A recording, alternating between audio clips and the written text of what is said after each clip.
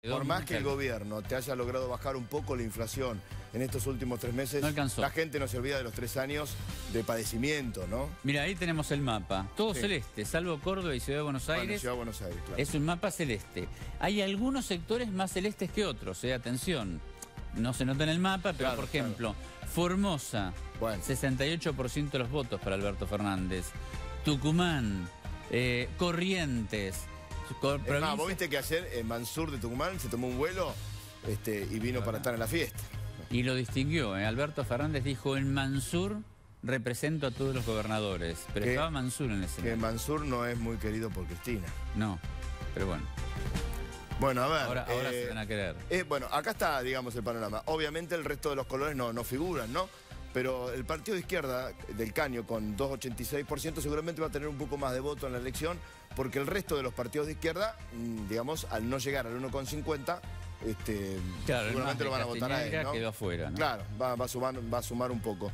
Que hay que ver qué pasa con los votos de, bueno, de Esper, ¿eh? de Gómez Centurión, que van a participar de la elección. Pero... Los votos de Esper se van a ir a Macri, básicamente, los votos de Gómez Centurión también. Pero en todo caso ahí podés sumar 4, 5% más. Sí. Ese Macri en vez de 32 estaría 5 más. 37.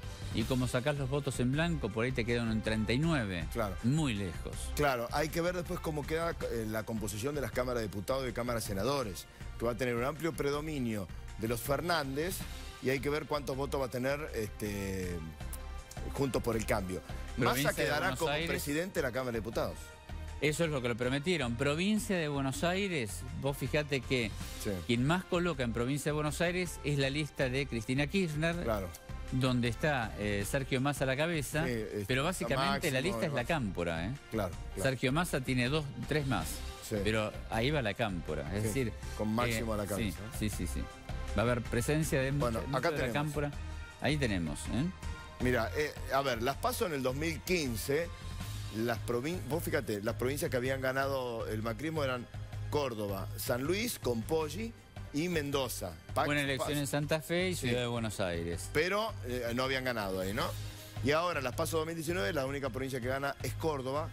Eh, y Ciudad de Buenos Aires, nada más. Las PASO 2015 lo logró dar vuelta, ¿eh? a pesar de que había sacado el 24% de los votos, porque en la elección de, de octubre achicó un poco la diferencia.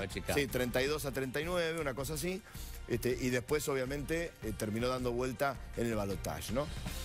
El resto del país es celeste, buena, buena una elección muy fuerte en La Pampa, un poquito más hizo el kirchnerismo, eh, Alberto Fernández, un poco más floja en Mendoza, pero también la gana. Ahora, eh, con, con, la elección de Pichetto, ¿no? que hace Macri, que fue muy aplaudida en su momento, que los mercados lo vieron verdaderamente bien, pensó Macri que iba a juntar más el voto peronismo, y no consiguió mucho. Y no lo consiguió. Y ese voto lo terminó ganando Alberto Fernández, que lo decíamos antes, eh, Lape, porque, a ver, Cristina Kirchner tenía un techo de un 35%, sacaron 47 ayer. Hay 12 puntos que hay que atribuírselos a Alberto Fernández y a Sergio, Massa. No sabemos en qué proporción, pero evidentemente ellos dos le aportaron. Y Alberto Fernández lo que se hizo bien es articular con los gobernadores. Claro. Es así, la articulación con los gobernadores y los gobernadores le ayudaron. Y los gobernadores potencian la elección en el resto de las provincias. El único gobernador que quedó afuera fue Scheretti. Está bien, pero ponele Alberto Fernández, que no tenés, no, no pudo hacer ningún arreglo con ningún gobernador, sí lo hizo con algunos varones del conurbano que le permitieron también sumar votos en la provincia de Buenos Aires. Que le permitieron sumar votos. A tal punto que Kichilov sacó el 49%, sacó más votos que el propio Alberto Fernández. Sí, sorprendió. ¿eh? Albert Kichilov nadie creía que podía sacar el 49%. Su primera elección. En la primera elección eh, fue un candidato competitivo, evidentemente absorbió todos los votos que le daba Cristina Kirchner. En las encuestas que cometieron tantos errores los encuestadores, lo que mostraban era que Kichilov no traccionaba todos los votos de Cristina, es decir, había votos sueltos.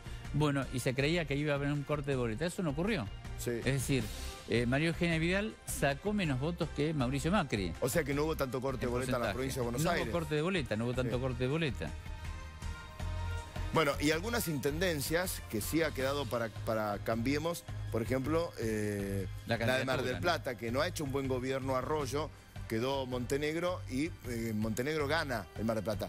Se le va a hacer difícil el gobierno al propio Montenegro teniendo prácticamente todas las cantidades de municipios de la provincia de Buenos Aires en contra y hasta el propio gobierno, ¿no? Y el propio gobierno en contra. ¿También se le puede hacer difícil a la reta si llega a ser jefe de gobierno porteño? Sí, bueno, la ciudad de Buenos Aires tiene recaudación es como una isla, es, una, es una isla, es una ciudad que puede recaudar, pero no es lo mismo hacer obras cuando vos tenés al gobierno nacional que cuando estás, sos una isla completamente aislada en un país teñido de otro color político. Bueno, lo contaba... Este... A ver, eh, había un triángulo que se potenciaba, provincia de Buenos Aires, ciudad y gobierno nacional. Ahora ese triángulo desapareció. Ahora, aquel creativo que dijo provincia de Buenos Aires, ciudad de Buenos Aires y país que vayan juntos, me parece que la pifió también. Sí, evidentemente, quizás... Porque si hubiera ido separado, tal vez hubieran ganado eh, hubiera, la, elección hubiera sido distinta. Sí, hubiera hecho quizás una mejor elección María Eugenia Vidal. Y como pasó en Mendoza, porque Mendoza gana Cambiemos con el radicalismo, pero en la elección general pierde. En Jujuy lo mismo, ganó Morales, elección general pierde. ¿eh? Corrientes ganó Cambiemos y en la elección general pierde. ¿no? Sí, vas a tener gobernadores de Cambiemos, pero eh, con una composición en diputados y en senadores muy fuerte del kirchnerismo, de Alberto Fernández y Cristina Kirchner, que van a manejar prácticamente las cámaras, van a manejar el Poder Ejecutivo, y además Alberto Fernández y Cristina van a tener la relación con todos los gobernadores. Es decir, el poder político va a estar muy concentrado en manos del gobierno nacional. Ejecutivo, Congreso y relación con los gobernadores. Muy concentrado. Eh, ¿Y se puede decir que la República Argentina es de Boca? Perdón, y no olvidemos algo más. ¿eh? Mira, no miro. ¿Eh? Y no olvidemos algo más. ¿Qué? Que en un dato que parece menor, pero hay que tenerlo en cuenta. A ver. En la Corte Suprema, uno de los ministros es abiertamente kirchnerista. Con lo cual ahí Alberto Fernández tiene y Cristina Kirchner una pata muy decidida. Es decir, va a haber una concentración. No, Lorenzetti no tanto. Eh, estaba pensando en Rosati. Rosati. Ahí vas a tener una concentración de poder enorme. Miralo de otra manera. El único que votó medianamente de acuerdo el gobierno fue Rosenkrantz. El resto bueno, dio la espalda al gobierno en la Corte Suprema. o sea que el completamente aislado.